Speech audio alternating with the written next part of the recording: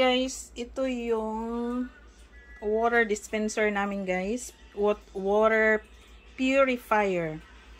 So, dito kami, ano, dito kami kumukuha ng inumin namin na tubig yan. So, ngayon, uh, mga 4 years na namin itong ginamit. So, gusto ni Habi na palitan ng, ano, ng panibago. Kaya, papunta na yung, ano, yung magpapalit, magkakabit ng ano, panibagong water purifier namin. So, yung ipapalit, medyo malaki yon Ito kasi, ano siya eh, yung slim. Slim yung model niya. Yung ipapalit kasi, ano, may uh, kusang gagawa din ng mga yellow, yung mga ice. Kaya, papalitan niya. Kasi magsa-summer na. Kaya, yun. Walang space eh. So, yan. Madali lang kasi pag kumuha ka ng tubig, ganyan lang. Ayan.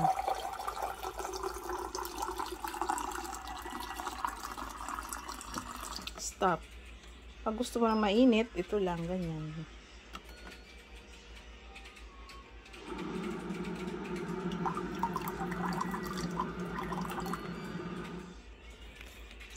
Wala kasi kasi masyadong space dito sa bahay kaya ayan sinis ano lang dikit-dikit yung mga gamit.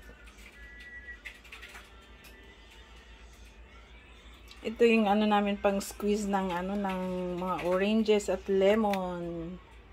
Yan.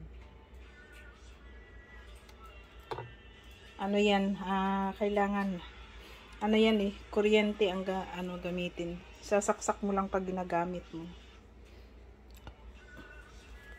yan, may coffee maker din kami dyan. Hindi ko pa nagagamit. Yan. Mga blender.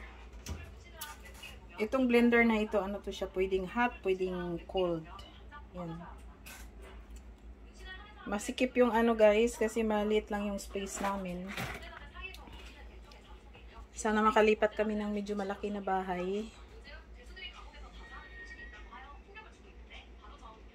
So, ito yung latest. Tatanggalin na kasi ito ngayon kaya binidyohan ko.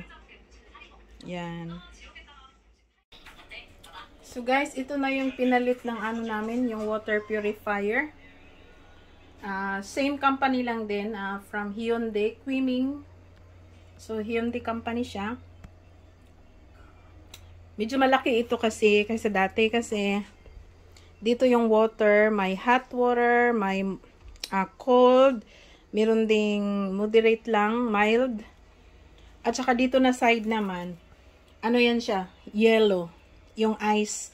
So, useful ito pagka, ano, pagka summer. Kasi sobrang init. Kasi yung, uh, kukunti lang yung nagagawa namin, ano, yung ice cube sa fridge namin. So, dito, pwede kang gumawa ng ice coffee or anong mga gusto mo. So, yun, medyo malaki.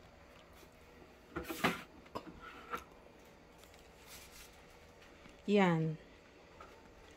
Malaki na siya kaysa dati.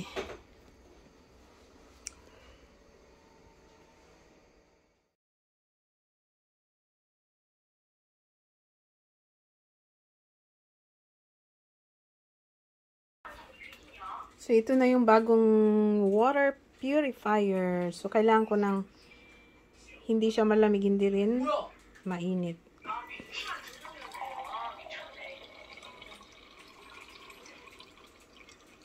So, nakaano siya ng 230 ml.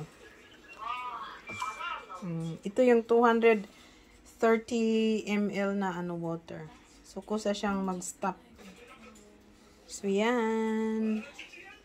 At dito naman yung ice. Dito yung ice. Dito.